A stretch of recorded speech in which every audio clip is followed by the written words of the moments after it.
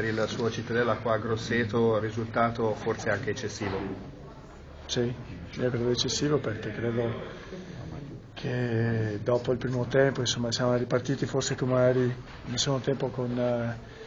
con maggiore determinazione. Penso che ci fossimo anche vicini a, a rischiare anche il pareggio sotto certi aspetti, anche se grandi occasioni non abbiamo creato, grandi tiri in porta non abbiamo fatto.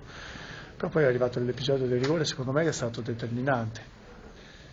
Mi valuta vedere, episodio? dalla panchina mi sembrava, io ho detto anche al quarto uomo, mi sembrava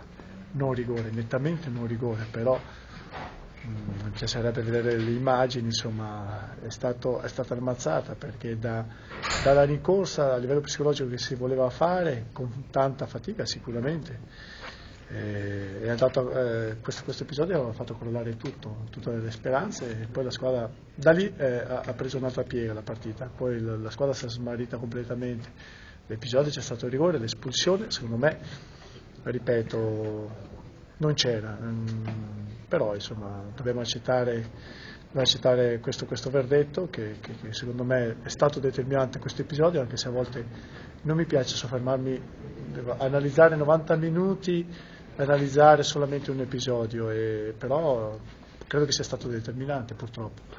Possiamo Dopo- quantomeno dire, mister, che la sua, squadra, la sua squadra è stata colpita praticamente nel momento migliore in cui stava producendo il massimo sforzo. Ma sicuramente, però devo anche dire che insomma, dopo una squadra che subisce anche il secondo gol,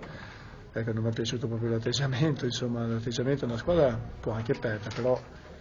noi abbiamo fatto bene questi cinque anni perché abbiamo sempre lottato fino alla fine e mi dispiace che questo non sia successo qui a Grosseto. Grazie mister.